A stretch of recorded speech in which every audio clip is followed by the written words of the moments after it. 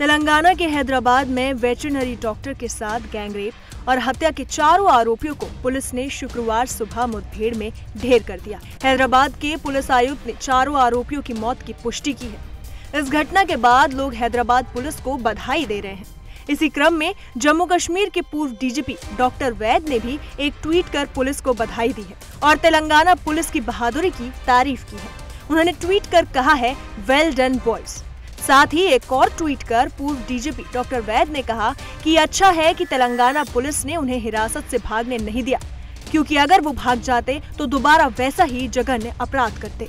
Veterinary doctor के साथ हैवानियत करने वाले चारों आरोपियों को पुलिस ने ठीक उसी जगह पर मार गिराया जहाँ उन्होंने पीड़िता के साथ दरिंदगी को अंजाम दिया था।